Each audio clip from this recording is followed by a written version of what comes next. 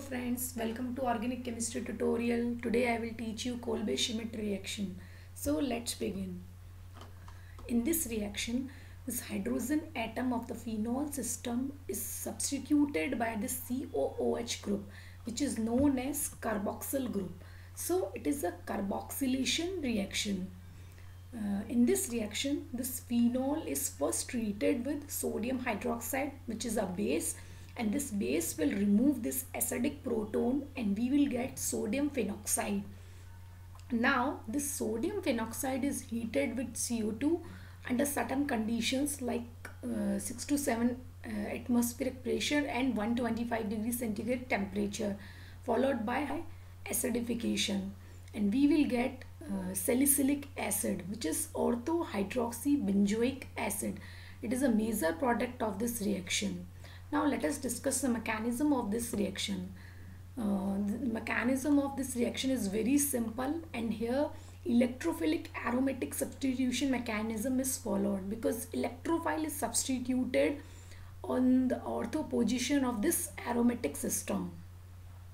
First, uh, this uh, sodium hydroxide which is a base removes this acidic proton of phenol and here uh, you can see the acidic nature of phenol and we will get this sodium phenoxide in which uh, negative charge lies on the oxygen atom and there is positive charge on sodium. And this sodium phenoxide ion is resonance stabilized by the movement of this negative charge and these pi electrons and we will get this structure and uh, here you can see there is a negative charge on carbon atom.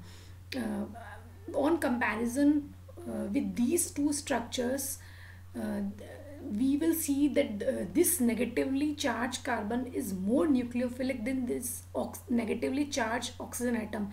That's why uh, this structure will act as a nucleophile and it will attack on the electrophile which is uh, CO2 here uh, in this CO2 molecule these pi electrons are shifted to oxygen atom due to the higher electron negativity of oxygen atom and uh, electron density will decrease on this carbon atom. So it will act as electrophile and it is attacked attacked by this nucleophile. And uh, sigma bond will be formed be between this carbon atom and this carbon atom. And this now uh, we will get this structure here um, this keto form is converted into enol form by moving these uh, sigma bond electrons of carbon hydrogen bond and pi and these pi electrons. And now we will get this structure. In the final step uh, acidification occurs and we will get orthohydroxybenzoic acid which is known as salicylic acid Thanks for watching this video and please let me know your comments. That will help me in deciding my future videos and also subscribe my channel for the latest updates and share it among your friends. Thank you so much.